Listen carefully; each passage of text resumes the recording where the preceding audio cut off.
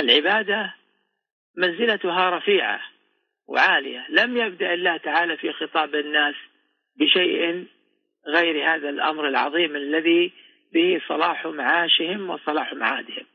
العبادة تصلح بها الدنيا وتصلح بها الآخرة.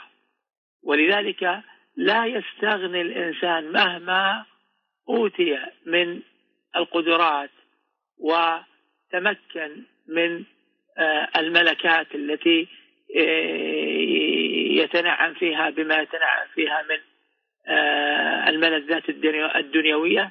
لا يمكن أن يحقق سعادة ولا صلاح لمعاشه ولا صلاح لدنياه إلا بأن يكون له عبادة.